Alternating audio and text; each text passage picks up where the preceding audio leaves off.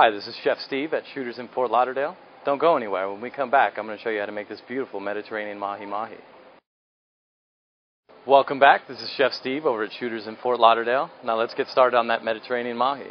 So we start with a hot pan, put our extra virgin olive oil, and as that heats up, we'll season our mahi, and then we will dredge it in a little bit of flour.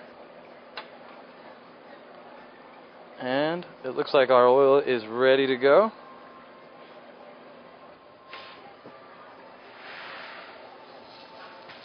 And we'll look, go ahead and let that get a good sear on one side.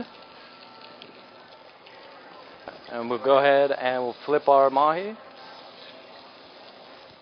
We add a little white wine to deglaze the pan.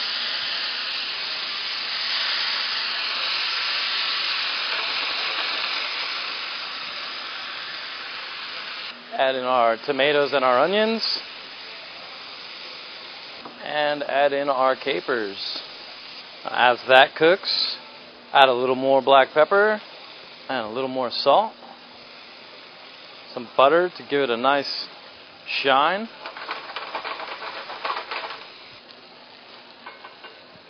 Okay, as that cooks, then add our fresh spinach.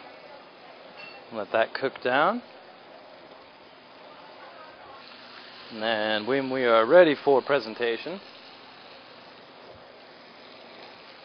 And that's how we make our famous Mediterranean mahi mahi here at Shooters in Fort Lauderdale. Come on down, grab a drink, try some of our wonderful food. Thanks for joining me.